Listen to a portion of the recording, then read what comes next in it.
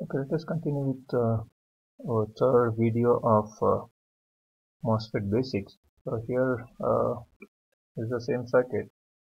So we have this dot DC strip which is having a variation of uh, two sources, this V2 and V1. So V2 is varied from 0 to 1.2 in steps of uh, 0.01, V1 is varied from 0 to 1.2 in steps of 0.4. So here we have uh, 1, 2, 3, 4 graphs, which is uh, the VGS variation. The VGS is varied from 0 to uh, 1.2 volts. So let us uh, uh, do the same thing for uh, different dimensions. Let us make this 200. So which will ensure that now W by L is 20. Now whatever current we have, so we're going to double now. So we have a current of, let me just go to this current at it is maximum now it is now it is 640 so let me now simulate this. Simulating the current is for the value of so let me simulate this and then 1.28 milliamperes is the current uh, when the VGS is 1.2 volts and the VGS is 1 volt. So we can have uh, still more family of curves. So let me just move this dot DC command. Uh, now let me vary the voltage of uh, second source instead of in, in, in, instead of 0.4 let me make it a 0.2 so that now I'll have uh, many more number of uh, uh, different VGS values let me run it now I can see we have uh, different lines. So this is uh, for 1.2 this is sorry, this is for 1.2 this is for 1 this is for 0.8 this is for 0.6 0.4 0.20 so for 0 0.2 and 0.4 volts the current is almost 0 so 0.6 so 0.8 this is for 1 volt this is for 1.2 volts so carefully notice the increment of your ID is not linearly, it is quadratically varying. So it is due to the expression of your ID where the value of VGS as the value of VGS changes, the value of ID quadratically varies. So that's why you can see this uh, increment in current is quadratically changing. So this is the increase from point, uh, this is from 0.8 to 1 volt, this is from 1 to 1.2 volts the current increment is quadratically varying so this is about uh, the variation of id for different values of so vgs anything in the value the drain to source voltage. Now we shall uh, go back to our slides and see one more variation. Now this is uh, known as channel length modulation. As the channel uh, pinch off happens. So if you further increase the value of VDS so this the channel length effective length will going to reduce. So naturally when the uh, effective length of the channel reduces the current has to slightly increase. So this dotted line happens to be the uh, saturated current under the ideal condition where the channel length remain constant. But uh, typically the channel length is varying so that is accommodated in the equation in the form of lambda. So now the current is not constant once it enters the saturation region. So we have the variation in the current as the value of VDS changes even in the saturation region. So that is accounted in the equation in the form of this lambda into VDS. So we can uh, have the effect of this channel length modulation in the simulation also. For that we have to make the changes in the uh, let me go back to simulation and then change this parameter settings. So in this dot model parameter let me also include one more parameter by name lambda. So lambda let it be equal to 0 0.1 so the unit of uh, lambda is volt inverse. So no need to specify unit. So now it is so 0 0.1 1 volt inverse now let me save this. And if I run this okay let me just uh, do it for a particular gate voltage. So let me not change this gate voltage. Let me uh, delete this. Let me have it for only a particular. So now this is done.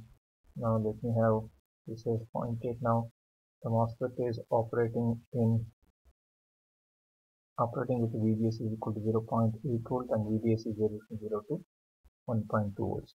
So let me run this now.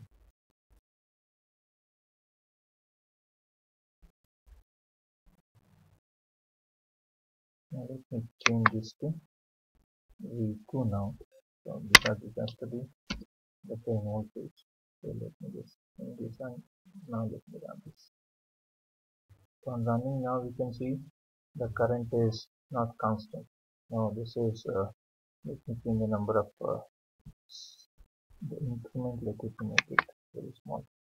So now it is let me make it 0.01 now we get a smooth curve and the curve is smooth enough so that you can see the variation so if you carefully observe this variation the current is not constant. So if, if, if you actually see this variation the current is keep increasing. So that's what we saw in the slide. So we saw the current is increasing. The current is increasing over here. The current is increasing here. So one thing to observe in these two uh, graphs is that as the channel length reduces uh, this is L1 is the least channel length. This is slightly larger. This channel length modulation is uh, uh clearly observed only for a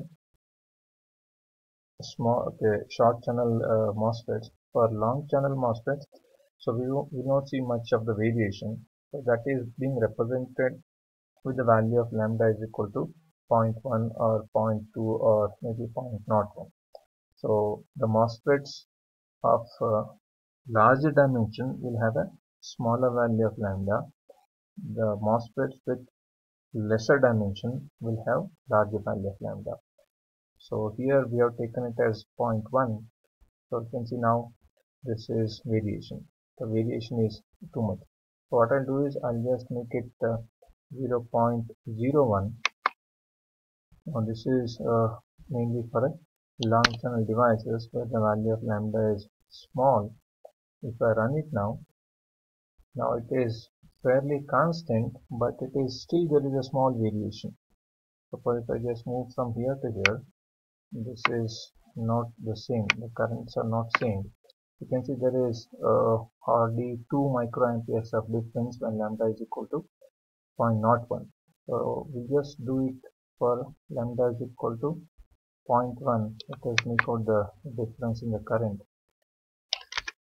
So now let me make it 0.1 if I run it now the difference in current is almost uh, 20 milliampere 20 microamperes so for, the same uh, VDS variation now you can see it is 355 there is uh, 335 the variation is almost 20 microampere in the previous case was hardly 2 microampere so let me make the value of lambda 0 so let us just uh, repeat this simulation with the value of lambda 0 now what we are expecting now we are expecting no change in the current.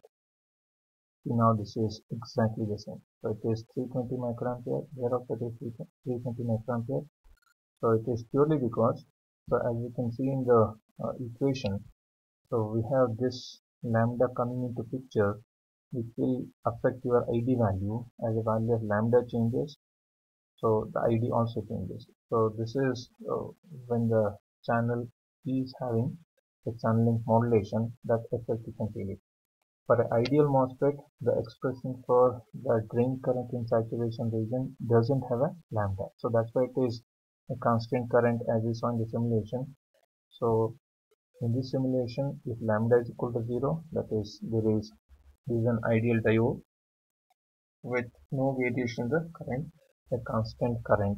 If lambda is uh, smaller, it's a long channel. If the lambda value is more, it's a short channel devices devices so this is the basics of the MOSFET so as we see here so as the voltage uh, of your gate is more than threshold voltage we are seeing uh, it's operating in linear region or the saturation region depending on what is the VDS so we shall also see how does uh, the VD uh, the ID versus VGS will vary. So let me just make this source as V1 so this is the transfer characteristics. So let me just have a look at this. So this is the transfer characteristics. So this is the variation of the device so as you can see now this this current variation is quadratically changing. This is not a linear graph. So this quadratically changes. So as, as you increase this voltage from uh, maybe a larger value maybe 3 volt or 4 volts now you can see it is it is quadratically changing. So this is not a linear variation. So that's how we can see this uh, two characteristics. One is uh, transfer characteristics the other one is the output characteristics. So that's what we saw in this slide. In this slide we have seen two characteristics. One is corresponding to this is what we saw here. So this is the ID versus uh, VGS so this is uh, the other one is ID versus this is ID versus VDS so you can see two characteristics. One is the transfer characteristics other is the output characteristics. So this way the key thing what are supposed to keep in mind is so whenever you take any uh, MOSFET the terminal which is close to the gate happens to be the uh, source. The other one is uh, drain. So this is the bulk. So bulk is usually connected to source. To have the body bias voltage body bias effect as zero. And this dot model NMOS NMOS is the keyword. And KP corresponds to mu n into Cox VTO is nothing but VTH lambda will go on to accommodate the channel length modulation. And uh, this is VGS this is VDS and we are doing a DC sweep because I want to see the output uh, or the variation of the drain current as per the variation of the voltage. It is neither dot tran or the dot AC we are doing because we are not seeing anything with respect to time. Since it is with respect to the voltage so we are doing dot DC. So we shall see in the coming videos the MOSFET as an amplifier. So how to bias a amplifier how the uh, MOSFET and how does an amplifier is going to amplify the small signal voltages